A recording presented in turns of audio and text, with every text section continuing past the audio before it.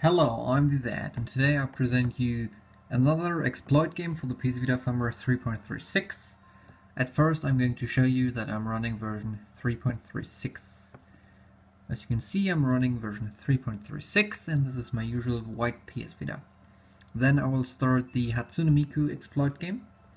The exploit files are finished and are indeed working. So if you bought this game and, and if you have it installed on your PS Vita, you can use this game to run the ARK-2 eCustom Firmware on firmware 3.36. The game has been removed from the PlayStation Store since like a week or two. So yeah. So I'm pretty much just showcasing this to show you that the Arc 2 eCustom Firmware is indeed working via the Hatsune Miku exploit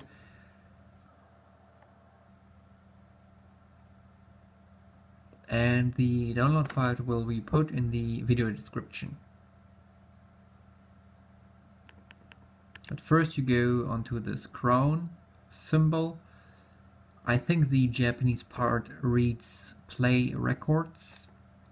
Then you confirm and access it. Then you select the third function and press circle. That way the ARK-2 eCustom should start. and since I'm using the 138 menu, you can see it's easily starting. And there we go, running the ARK-2 eCustom Firmware via Hatsune Miku.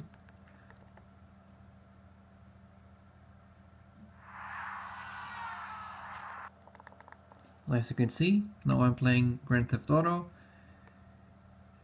via the Hatsune Miku exploit game very easy to do and if you own the game and it's installed on your PS Vita you can use this to exploit firmware 3.36 and run the Arc 2E Custom Firmware on your PS Vita.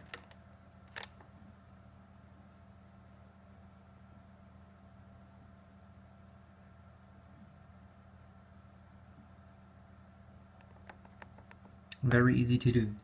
I'm the Zett and see you soon.